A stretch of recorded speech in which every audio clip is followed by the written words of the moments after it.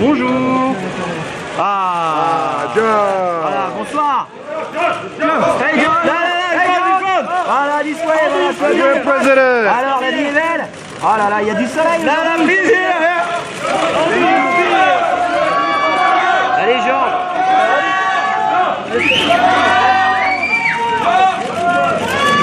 Uh, it. Oh, it's uh, really good fun. Uh, um, uh, very important. Uh, but one, one of the best things we can do is to, for a filmmaker, is to just watch movies and then talk about them with people who are also interested. So I'm very happy. Very, very good. You remember? Yeah, yeah, I remember. Yeah, yeah, yeah. What was your feeling one year ago? One year is a big difference because there the film was opening here, didn't know how the film would be received, and when it was shown here out the competition, it was such a good response to it. Very, very, very, very happy. But now it's much more relaxed, so it's good. Will you be a strict jury member? No, you can't. It, takes the fun away if you're strict. but I'm sure everyone's going to be very enthusiastic. I'm, I'm going to meet them in there now, so it'll be interesting.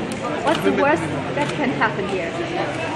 In terms of film, um, uh, Worst I think. Well, I don't think very much. We're here to celebrate movies, and if people are enthusiastic, uh, I, I, I don't.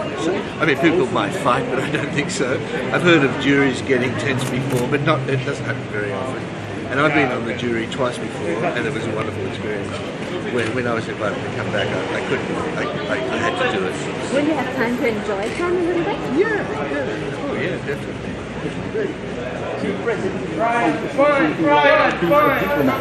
He's what? A diplomat. Yeah, is.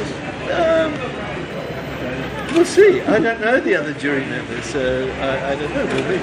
We're about to meet in there now, so we'll see what happens. Yeah. Okay. Thank you.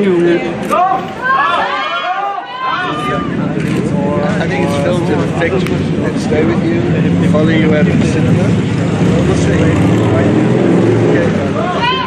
Mr. Miller Mr. Miller, please, one you around. Mr. Miller, one, one wave, please, one wave. One wave here, Mr. Miller, one. Mr. Miller on your right, please.